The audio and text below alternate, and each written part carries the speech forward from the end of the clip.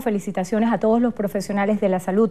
Y la Federación Médica Venezolana ve con preocupación la escasez de medicamentos e insumos, la inseguridad en centros asistenciales y el repunte de algunas patologías, por lo que alertan a la ciudadanía y piden por sus derechos.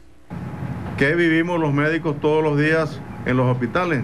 La gran agresividad a la que nos somete el director del hospital con los círculos violentos que están asalariados en estos hospitales y el asalto permanente de cualquier persona que entre por las puertas de la institución.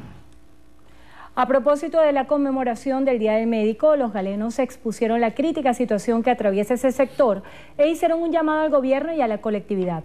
Y es un llamado a, a la atención que hacemos al gobierno para que cumplan con lo que establece la Constitución de la República Bolivariana de Venezuela en sus artículos correspondientes 83, 84 y 85, que en resumen se refiere a salud, vida y recursos para los hospitales, que no está garantizando ninguno de los tres parámetros el gobierno y tienen todo, todo en las manos para que pueda dotar los hospitales.